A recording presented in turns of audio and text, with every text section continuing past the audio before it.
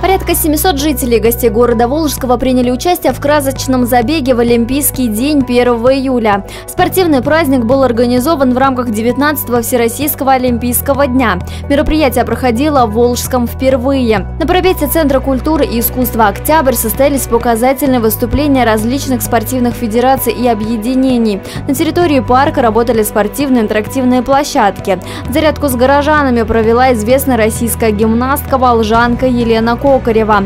После разминки был объявлен красочный забег. Все, кто выступал в забеге, получили дипломы участников Олимпийского дня, значки и бесплатное мороженое.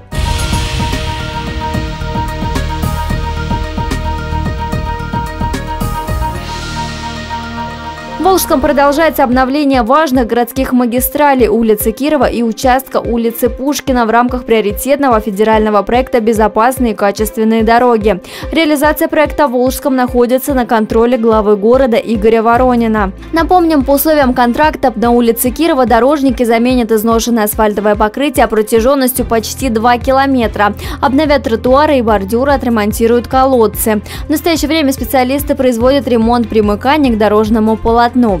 На участке улицы Пушкина от кольца ВПЗ до улицы Александрова сотрудники подрядной организации полностью обновят более двух километров асфальтового покрытия, отремонтируют пешеходные дорожки, поднимут колодцы ливневой канализации до уровня проезжей части и произведут планировку обочин для организации правильного и своевременного водоотвода с дороги. Сейчас специалисты при помощи спецтехники осуществляют укладку верхнего слоя асфальтового покрытия.